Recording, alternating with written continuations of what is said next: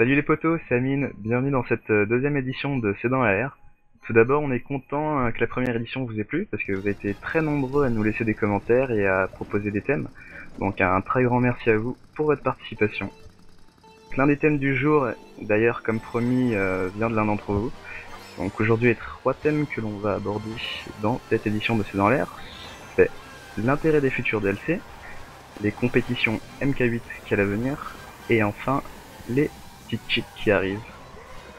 Donc euh, aujourd'hui, je me retrouve avec une équipe de choc, une équipe à faire pâlir les expandables, qui passent pour des gros coups poussiers à côté de Donc mesdames et messieurs, accueillez la choucroute de Genève alias Seb, Bonjour. le briseur fou de gamepad, j'ai nommé Koopa, Bonsoir. l'homme qui faillit plus rapidement que son ombre, GG Link, Toi. et enfin, celui qu'on ne présente plus, j'ai nommé l'anaconda algérien. Jiraya. Et on oublie, on oublie, on oublie le plus important, le Yves Calvin du, Ma- du Maghreb, Amine Abbes. Amine On peut. Applaudissez. Applaudissons Bravo. Incroyable. Merci, merci. Grosse intro comme d'hab. Bon Voilà. alors, sans plus tarder, euh, plongeons-nous dans, sur ce premier thème, l'intérêt des futurs DLC. Alors, quels sont les enjeux Euh, On a entendu parler du, du contenu téléchargeable qui va arriver euh, de Mercedes avec euh, le nouveau bolide là. On a tous entendu parler. Hmm, ouais. Si, si. Si, si. Je vais pouvoir, je vais pouvoir déambuler dans ma Mercedes en On va sortir au Japon. en mode beau gosse. quoi. Ouais. Voilà. Donc on sait que l'ajout de véhicules est possible. Donc est-ce que l'ajout de course, ça, ça peut être une option? Est-ce qu'il n'y a, enfin, est-ce qu'il n'y a pas un risque que ce soit payant, que ça déséquilibre un peu euh, le, le, le système d'IT également, parce que certains joueurs auraient euh, du contenu que n'en aurait pas d'autres euh, en termes de véhicules, donc euh, véhicules un peu plus cheatés. Enfin, Qu'en est-il? Quels sont vos avis là-dessus? Euh, qui commence? Bon, vas-y, parle, c'est un Eh ben écoute, mon je vais te répondre en premier. que je, vais- je vais me prendre la parole en premier. Très bien. Euh, les DLC, bah écoute, euh, moi je pense que c'est pas une mauvaise idée parce que euh, c'est vrai que 32 courses, euh, quand tu joues au jeu pendant quoi 3-4 ans, voire plus pour euh, pour certains, ben c'est bien de se renouveler un peu et de pouvoir changer. Donc euh, s'il y a de nouveaux contenus qui est ajouté, euh, je pense que c'est une bonne chose quoi. Même si c'est payant au final, ben maintenant les DLC c'est devenu devenu quelque chose de courant dans les jeux et et même si je, je trouve pas le principe très très honnête puisqu'au final autant sortir un jeu complet dès le départ. Mais au final, si ça peut rajouter la durée de vie, ça peut rajouter du, challenge, bah c'est une bonne chose. Oui, mais pour la compétition, est-ce que tu penses que euh, dans une team, tout le monde va, va devoir acheter le contenu histoire euh, de pouvoir jouer les idées? Est-ce que les compétitions ne vont pas être euh, biaisées parce qu'il va falloir trouver... euh, Enfin, si tout le monde n'a pas envie d'acheter le DLC, il va pas y avoir certaines maps qui vont être interdites? En partant Ouais. du principe que certaines maps puissent être ajoutées. Mais en fait, le problème des DLC, c'est que si la personne avec qui tu joues n'a pas les DLC, ben tu pourras pas jouer avec euh, sur les DLC. Donc euh, forcément, s'il y a des gens dans la team d'en face qui n'ont pas les DLC, ben on pourra pas jouer sur les maps euh, qui seront ajoutées. S'il y en a qui sont ajoutées, on sait jamais. Ouais, s'il y en a, je pense que ça sera assez fair. Il y aura pas vraiment de, de déséquilibre. Moi, je pense pas que ce sera payant les maps. Hein. Ah, Ouais, moi, je je pense pas non que si. Connaissant les Nintendo rapaces, déjà. euh, Non, mais non, ouais. mais même Nintendo, euh, mais de base, ils, ils ont jamais fait de DLC. Et s'ils Ah, en font, ah, je pas. je peux te garantir que les DLC pour Fire Emblem, euh, j'ai j'ai Ouais. Fire Emblem, les Mais DLC, mon gars. c'est 5 euros la différent. map. euh. Ouais, C'est vrai, c'est un peu ça. quoi.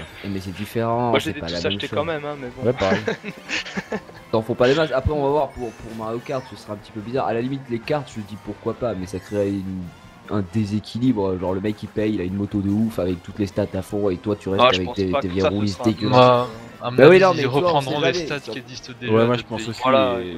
Sur, surtout le truc, c'est qu'à mon avis, ça c'est juste des skins, hein, les nouveaux cartes. Ouais, Voilà. un Mercedes, on c'est j'espère un bien. skin de... Ouais, on sait jamais, hein, euh, tellement des maigres que. Un C'est skin, euh. Ça change je rien. l'achète- Je l'achète direct. hein. Sorte un skin euh, pour se démarquer un peu des. Non mais je pense que ces piges de skins, 12 ça, ça sera payant quoi. Bam À mon avis, Bah, skin, oui, c'est oui, je pense que ce sera payant. Mais les maps, je vois pas.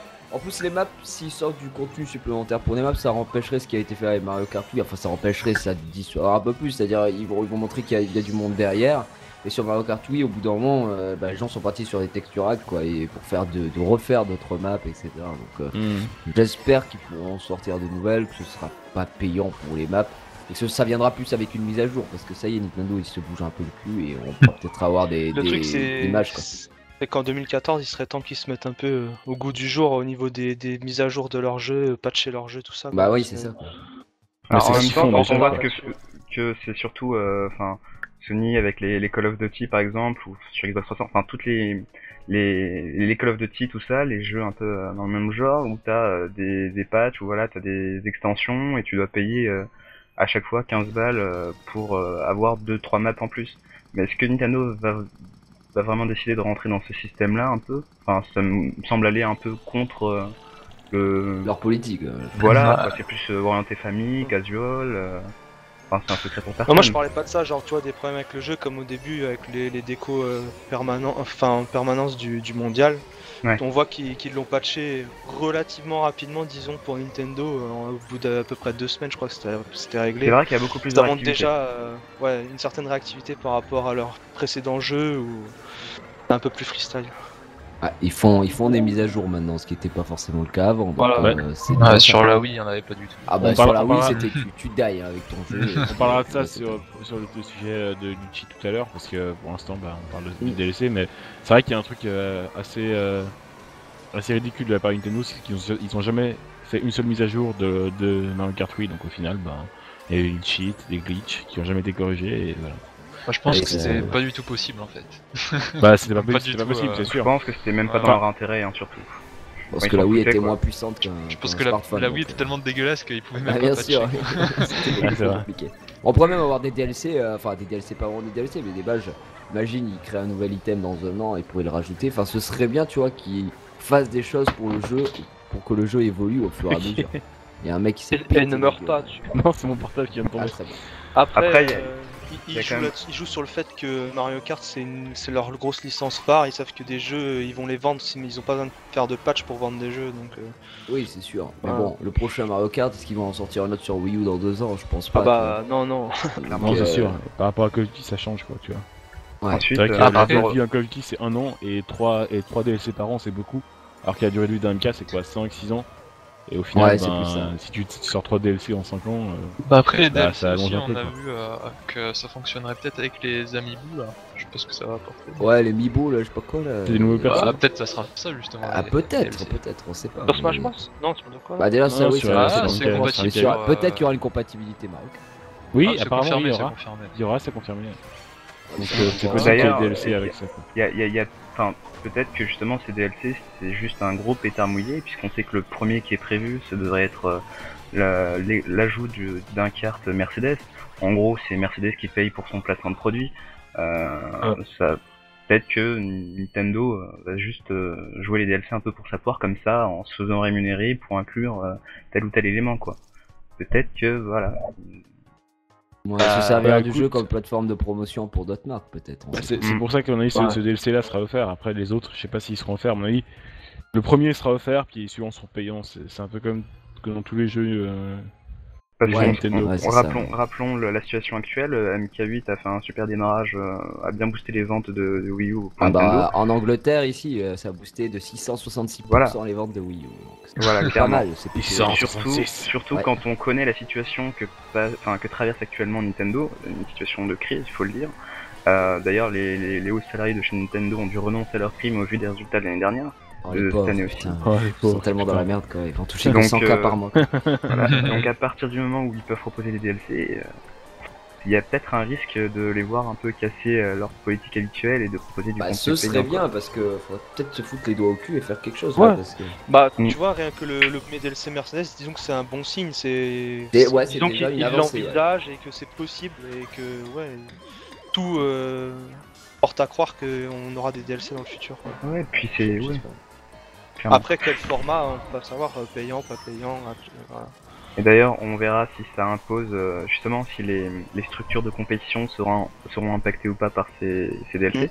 D'ailleurs, je vous propose de passer tout de suite euh, à la partie compétition MK8. Donc, euh, Accepte quel ta sera- proposition. quel sera l'avenir de la compétition française? Donc euh, la de, donc Mario Kart France anciennement Mario Kart League et euh, pour le côté international euh, anciennement WCL c'est Mario Kart euh, Board Board League. MK Board. MK Un Board. reportage League. de GG League. Bon, alors pour nous parler de ce sujet, euh, Seb euh, va s'y coller parce qu'il s'y connaît le mieux. Euh... Euh, voilà.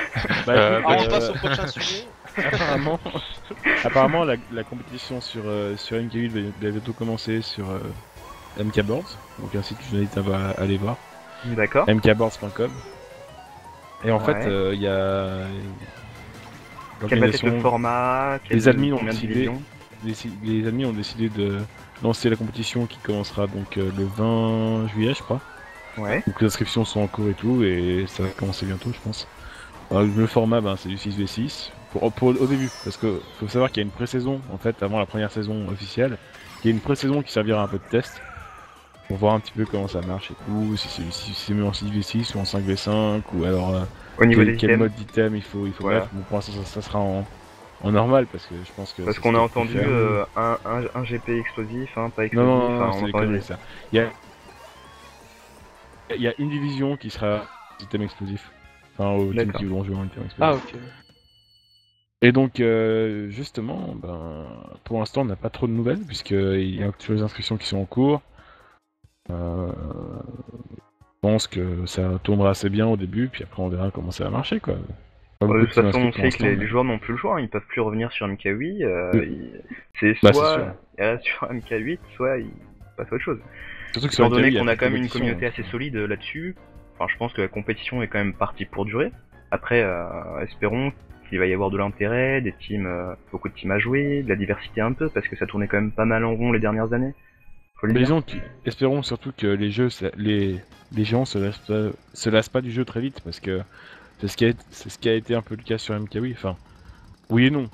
Ça a été accéléré sur- par les cheats, disons. euh, sur Disons c'est- ça et le problème c'est que la compétition aussi, à un moment donné tu peux te cheater, ben, au final, euh, Ouais, mais l'avantage c'est que sur Wii U maintenant, on a vu qu'ils font des mises à jour et qu'ils patchent le truc un petit peu, donc je pense que ça peut être réglé, les failles et tout le bordel. Sur Mario Kart Wii, tout le monde s'en battait les couilles en fait, donc euh, on se retrouvait dans des games où les mecs euh, faisaient ce qu'ils voulaient et c'était ridicule. ouais, je suis d'accord avec toi. il faudra voir parce que franchement, moi je pense que c'est la compétition peut durer assez longtemps sur MK8. On a vu qu'il y avait l'intérêt derrière de la part de Twitch qui avait qui avait promu euh, euh, la dernière compétition de MK Board sur MKW, donc le dernier FFA, qui, avait- foutu en première page, donc il y avait plus de 500 viewers, je crois, constants sur le stream. 1000 pour la finale, donc euh, à mon avis, si les gens se, se consacrent un peu au jeu et tout, il y a moyen de faire une bonne compétition et que ça dure assez longtemps, quoi. Après, faut éviter de genre passer pour des teubés en, en allant euh, se clasher toutes les 5 minutes sur les forums, mais... Mais si ça... Je ne donnerai pas de nom, je... Alors pour le, pour, pour- pour le moment, on se retrouve avec euh, un noyau euh, de team euh, vraiment euh, au-dessus du lot, euh, un, bon petit noyau dur de 4, 5 teams, allez.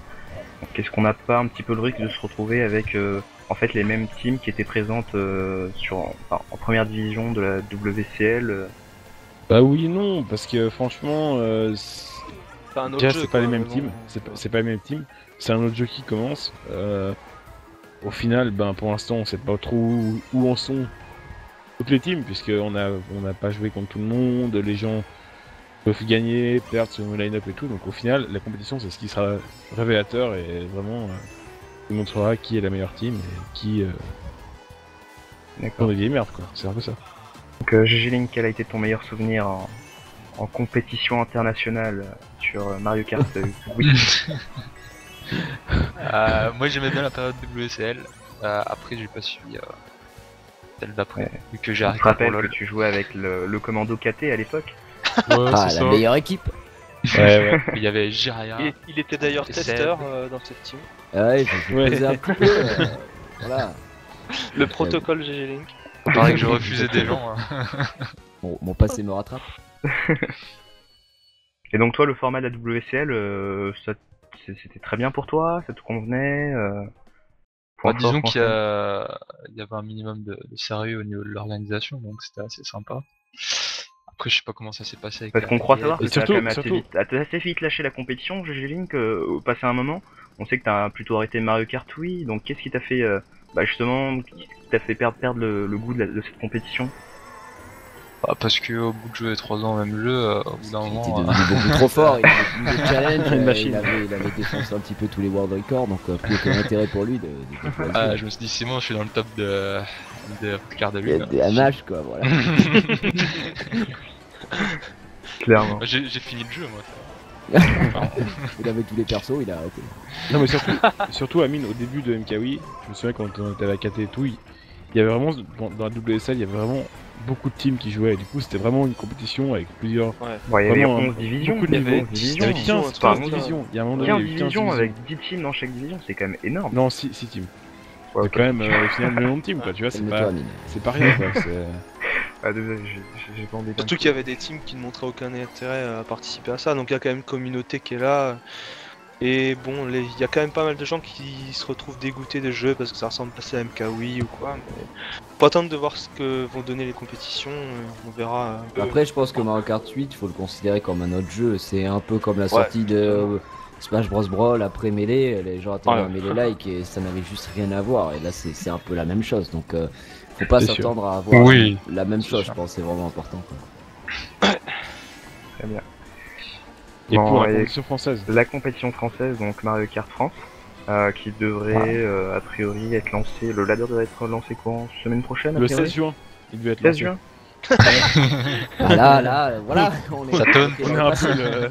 On est quoi D'ailleurs, on a le 6 juillet community manager GG avec nous. Euh, qui est responsable de ceci. Bonjour. Pourquoi du comment? Est-ce que t'as les news, CGI Euh, aucune. Voilà, le staff bien, est perdu. Non, franchement, aucune cool, idée de, comment ça va, se cool J'ai j'ai glané une information auprès de, de Nat, Nat qui est euh, l'un des responsables donc de cette euh, future Mario Kart France. A priori, ça a pris un peu de retard euh, concernant le codage, etc. Merci Pic, même s'il n'a pas participé, j'avais envie de lui lancer une petite pique. De joke, désolé. Faudra couper ça. T'es un nul, on va t'es en le train de bider là. Faut que tu hein. te, tu te sortes de ce que cette merde que tu viens de dire là. Va- Vas-y. Ouais. Non bref, Vas-y. tout ça pour dire que ça devrait être lancé très prochainement, normalement la semaine prochaine, et en fait ce sera un module qui va incorporer euh, diverses, enfin de multiples formes de compétition. Il y aura le, le ladder qui va déjà permettre euh, d'établir euh, un ordre, enfin un classement des différentes teams afin de Mais non, mais ça, ça encore une fois, moi je trouve ça stupide de dire ça parce que encore une fois, les teams qui seront au du ladder, ben, c'est les teams qui joueront beaucoup et c'est pas forcément un classement euh, véridique parce que au final, ben si t'as une Ouais, team qui joue, jouer euh, beaucoup et une équipe Ouais, par ça- soir, ça- euh, c'est d'avoir système un- de LoL. Ouais, Ouais, ça, ça permet d'avoir un système de compétition alternatif un peu, tu vois. T'as envie de jouer, hop, tu, mais- tu, tu, tu prends une team, tu la défies, il y a un peu comme comment dire un petit objectif, tu vois, à une war, c'est pas c'est pas totalement un officiel, c'est pas totalement un amical, tu vois. C'est juste. hein. Mais bon, même, je veux dire, c'est pas. Moi, je trouve ça c'est un peu faussé quand même parce que ça se joue uniquement au fait que la team joue beaucoup ou pas, à mon avis. Après, Enfin, faut voir les ratios oui non, Genre, euh, tu sais, si t'es sixième et que tu bats le premier, est-ce que c'est vraiment rentable de, de war contre le premier euh, Et je au suis pas niveau des d'accord points tu toi, gagnes Seb. selon place euh, dans la guerre Je suis pas d'accord avec Seb dans le sens où tu dis euh, ce sont les teams qui vont jouer le plus euh, qui vont être forcément en- dans les premières divisions. Oui et non, parce qu'en Non, même mais c'est pas une question de division, c'est une Oui, non, question de. le classement- C'est un classement, Amine, donc euh, au final, bah, les qui joueront plus. Ouais, plus mais ce points. classement, ce classement, il ne sera utilisé que pour enfin, faire les divisions. Donc à partir de là, que tu sois premier ou troisième de ton classement, bon Mm. certes, euh, c'est un peu qui a la plus grosse, mais c'est c'est surtout fait pour Non, ça avoir des divisions. que pour la première euh, saison que ça sera Voilà. utile pour faire la division. Mais après, euh, c'est indépendant de, des ligues. Ah donc ça va rester le ladder. Est-ce qu'il y a vraiment besoin Ah de oui, ça ouais, le ladder il divisions sera à côté euh, de. Ça sera autre chose quoi. D'accord. Genre tu pourras le faire n'importe quand, il n'y a pas de date. Il y aura euh, le ladder et c'est- ensuite la MK. Tu veux c'est faire ça. un IT, tu dis oui on le compte euh, pour euh, le ladder, mais ok c'est parti. Ouais. Ce sera plutôt ça. Que les gens vont refuser de nous jouer à chaque fois et puis voilà. Ouais, c'est c'est ça Ah, qui ouais. peut C'est être ça chiant qui me fait peur, c'est que genre tu peux dire Ah oui. ouais je veux jouer, je veux jouer. Parce que la bah première non, team, genre qui sera tout en haut. Bah oui. Je pense que le plus pertinent serait d'avoir un ratio de victoire. Le ratio, c'est c'est ce qui est le plus pertinent après, je pense. Un ratio de victoire et personne veut te jouer, bah t'as pas de ratio en fait. Ratio victoire, tu joues deux IT. Bon, y a, non mais euh, si, il y, a- il y a bien Crazy Conga avec la CB qui a, qui a envie de, de la mettre à l'air, clairement. Oui, Après 4 après quatre défaites, il faut bien qu'il se reprenne un jour. Mais bon. Quatre Ah oui. défaites. Non, Ah, c'est dur, hein, Non, des, des- pardon, 3. J'ai été un Trois peu défaites, disant. euh, vraiment. Ah ouais, franchement. Un peu de T'as vu trop dans Amine, l'avenir, plaît. Ouais, c'est pas bien. Coucou au CB qui nous, qui nous regarde d'ailleurs. Euh, très bien. Et ben, je pense qu'on a fait le tour euh, sur euh, le côté euh, compétition à venir. De toute façon, seul l'avenir nous le dira. Euh, parlons tout de suite du dernier sujet, donc euh, les cheats sur MK8. Ah, Et ouais, c'est enfin arrivé grâce à Mr Bean. incroyable. Enfin, Grâce oui et non. cause Oui et non. Alors, Cause- pas arriver encore. Parce que sur avec- sa, sur, sa, Ah. sur sa vidéo, Amine, on voit vraiment pas grand chose. Hein. On voit pas les items qui sont modifiés, moins que j'ai mal regardé. Mais dans ce Non, non, non, non. non, non. Non, il n'y a pas Y a de cheat, c'est plutôt y a du pas hack que cheat. du cheat. Bon, il y a, il y a du hack. Il y a De du toute hack, façon, mais il y a il- du hack sur MKB aussi, hein, je veux dire. En non, gros, il ça a rien à il, il a fait juste fait cette vidéo pour montrer qu'il avait la possibilité de, de tweaker un peu le jeu, mais de toute façon, il a dit qu'il avait aucune intention de, de sortir des cheats euh, comme il y a pu l'avoir l'Ocarina, HBC, tout ça quoi. Il dit que pour l'instant, c'est c'est juste à des fins personnelles et strictement C'est personnelles. pour voir comment exploiter les J'ai- failles J'aime bien le pour l'instant, tu vois. Bah, Bah ouais, euh. Après, s'il communique la faille à d'autres gens, bah certains peuvent s'en servir. Bah, lui, il a dit qu'il a pas l'option de le faire, mais bon, s'il a trouvé la faille, il y a bien quelqu'un d'autre qui peut le faire aussi. Peut-être qu'il veut travailler chez Nintendo, il va leur montrer que c'est une machine et les gens vont l'engager. C'est- C'est peut-être ça aussi. Ça, ils ont. Non mais c'est les hackers la, plupart euh, du temps en France. Ouais, chez Microsoft, ouais, mais pas chez Nintendo. Attends, Microsoft, euh, même, ma grand-mère pourrait hacker Microsoft, hein, je veux dire. La Windows, euh, je veux dire, quoi. On va partir dans des suppositions, mais imaginons que euh, ces petits hacks, ces petits cheats venaient à se démocratiser entre guillemets et que euh, on, on venait à voir un peu émerger des, des petits cheats, des petits items pour gagner, t'as vu? Euh, Gagner. Faut gagner. T'as vu? Donc, Donc, euh, 50 euros, c'est putain de cheat. Donc il y a, il y a- il y a quand même des risques.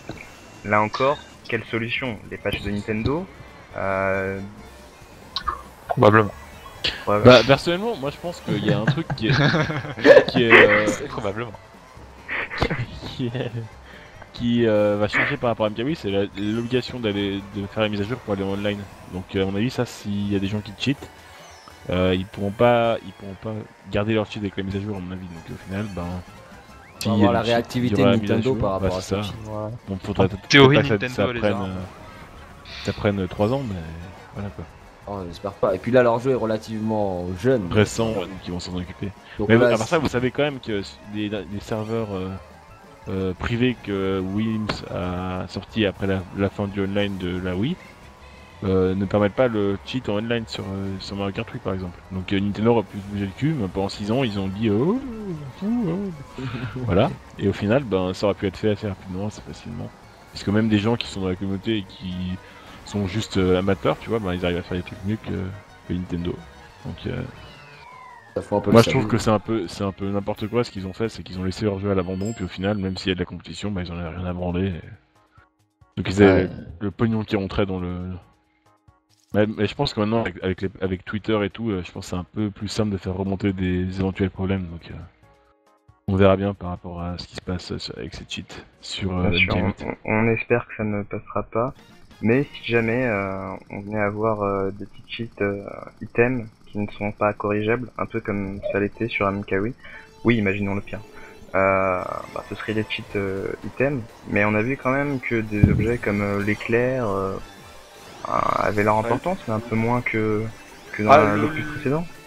Le problème euh, que j'ai envie de soulever ici, si tu veux, c'est que euh, déjà que, enfin, dans le jeu, il n'y a, il y a pas de position euh, prédéfinie où tu peux avoir certains items ou certains items. Genre, on a déjà vu des étoiles en 2, des grands 8 en 2. Donc, dès qu'il y aura, enfin, si jamais un jour, malheureusement, il y a les cheats, ce sera très dur à détecter. Bah, surtout si le mec gère bien le jeu-. Le jeu te donne ce qu'il veut, donc. euh, Disons que. Tu peux avoir les double items. Oui, voilà, Ouais. c'est-à-dire qu'avant, il y avait. euh, Enfin, tu prenais un choc alors que tu l'avais, tu disais, bon, il y a un problème, quoi. Tu vois, Ouais. là, c'est plus le cas. Tu te dis, bah, Ouais. ouais, tout le monde a des éclairs, c'est génial, tout va bien, quoi. Donc, c'est Ouais. c'est- c'est assez compliqué. Tout le monde a des billes. euh, Tu peux avoir deux billes en même temps. Ah trois oui, billes tu en peux même avoir temps. trois villes en même temps, enfin, genre le jeu il est sans pression, hein, mais, mais ce que Mm. tu veux, donc euh, c'est un peu, euh, c'est un peu ce qui, est, ce qui est chiant là-dessus. Et puis un mec qui veut cheat, il cheat quoi, tu pourras pas forcément le détecter, à moins que soit vraiment habillé, tu vois, le mec qui sort, euh, enfin, en un tour, euh, sur tous les items, il sort trois éclairs, bon, bah, tu commences à te poser certaines questions. Ouais, mais si le mec est pas débile, tu vois, il va pas faire ça, quoi, il va, il va Ah, il en faut pas beaucoup pour gagner hein, dans le jeu. hein. Il suffit Ouais, que ouais. tu te sortes 3 rouges 2 ou 3 rouges 3, t'as gagné. hein. Il a trois bleus en un Donc tour forcément, aussi, ouais, tu verras pas, tu verras pas si c'est. Et Ah, c'est clairement indétectable. Et c'est Sur ce jeu, oui. Sur ce jeu, oui, c'est un Largement. Donc, euh, Pour l'instant, par rapport à MKWI, euh, MKW, t'avais des items qui étaient qui correspondaient à ta position et tout, et du coup, si tu chopais par exemple l'éclair en 3, euh, c'était pas du tout logique. Alors que maintenant, Ouais. c'est possible. Voilà, Donc, si, euh, clairement, ouais, clairs en 3. C'est grâce Même à si- leur même si équilibrage euh, exceptionnel. Mais, mais en, en plus, Sasuke a, a regardé aussi pour, euh, pour essayer d'analyser les données qu'il recevait par rapport au online. Il a essayé de regarder un peu euh, s'il pouvait trouver les positions, etc., les items. Et apparemment, c'est- ça n'a rien à voir avec c'est c'est juste incompréhensible. Donc au final, ben, Genre du full random, quoi. c'est vraiment du full random. quoi. C'est le jeu, il te fait ce qu'il veut. C'est c'est un peu ce qu'a dit Koopa tout à l'heure, c'est ça. C'est un peu Donc il n'y a pas de- il y a pas d'équilibrage euh, particulier. Mais en fait, il y a euh, des théories, si tu veux, sur, euh, sur euh, les positions. Genre, euh, si t'es 7 et que le 6 est juste devant toi, t'es collé, tu vas avoir par exemple un mono shroom. Et si le 6 euh, est loin du 5, lui il aura 3 shrooms alors qu'il est devant toi. Ouais, je pense que c'est ça à mon avis. Ouais. Parce que c'est vrai que quand quand le- il y a de l'écart dans, les- dans les courses, ben, les items deviennent assez abusés quoi. T'as toujours plus que le Ouais. shroom, toujours des, des rouges, Ouais. des machins. Oui, Alors que t'es pas 10 forcément. le mec, le 9 est juste devant toi et vous êtes loin, loin, loin, Ah, tu vas tirer une verte. Link est pas d'accord. Ah, pas forcément, j'ai déjà eu des, des 8 en 3 alors que le 2 est devant moi, j'étais déçu. Oui, Ça, arrive. oui, C'est-à-dire ça que le arrive, 1 euh, était très voilà. loin, tu vois, ou ce genre C'est de ça. Voilà. Donc, Ça s'est échappé. La plupart du temps, je- c'est comme Je ça. sais hein, ça m'a l'air assez random des fois. Mais Ça c'est m'a l'air assez rentable. par rapport aux distances. Franchement, ça m'a l'air. euh, Il y a des moments, je rapport me dis qu'il n'y a pas de logique. hein. En fait, c'est pas logique parce qu'ils disent que c'est par rapport aux distances pour que tu puisses au mieux remonter, mais au final, quand t'es derrière, tu te fais massacrer la gueule. Donc au final, tu peux pas remonter même avec des items. Et ce que je trouve vraiment horrible, c'est que tu tapes souvent des shrooms en fait. J'ai jamais eu autant de shrooms de ma vie que dans ce jeu. Ou alors euh, en dernière position, des fois, enfin, euh, hier Et encore, autant joué. sur MKW, T'es verte, euh, c'était fais, utile parce que tu je pouvais cutter.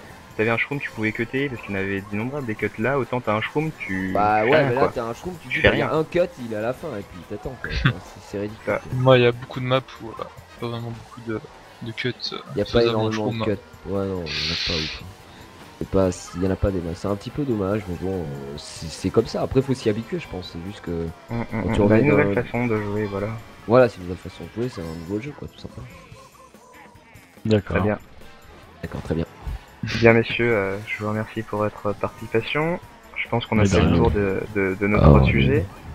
ah oui. Oh. tu vas bien. Ça sera coupé au montage. Eh bien messieurs, je vous remercie de votre contribution une fois de plus et on a fait le tour des sujets. Euh, bah écoutez, euh, messieurs les viewers, messieurs et mesdames les viewers, je vous invite à nous proposer des thèmes. Et vous avez vu, on a abordé l'un des thèmes qui était proposé par l'un des viewers, donc euh, on le fera également la prochaine fois. Donc soyez créatifs, proposez-nous des trucs sympas et on fera un plaisir d'en débattre autour de cette table. Donc, Link est-il euh, homosexuel Débat. voilà, exactement. Ça, Euh, on est fera une FAQ où on impliquera toutes euh, vos questions. Ça sera... Ouais, voilà, on a préparé les 500 questions. C'est quoi ton plat préféré? Alors moi j'aime bien les Ah, moi, spaghettis, j'aime euh, avec... Alors j'aime bien les pâtes hein. c'est bon les potes, hein, franchement, ouais. Avec quel Alors euh, avant je faisais de la natation. Alors, euh, La choucroute de Genève. hein. La choucroute de Genève. alors j'aime beaucoup les pâtes avec un peu râpé et euh, de l'huile d'olive. Très Très bien. bon, très bon. Albert. Très bien, très bon choix. Très bien. Nous ferons Donc, une Amine. émission spéciale euh, cuisine la prochaine fois. Eh Ah, bien, bah, au revoir à tous. Tu pourrais et à la expliquer comment prochaine. cuire un steak, Amine. Côte de Ce sera le porc, hein. spécial hors série, là, c'est dans l'air. Hors série, cauchemar en cuisine. C'est dans l'air. euh, spécial euh, gastronomie. Exactement. Semaine prochaine. À Donc, bientôt. Très bien. À bientôt. Salut Abonnez-vous, bande de chiens. Bisous. Ouais.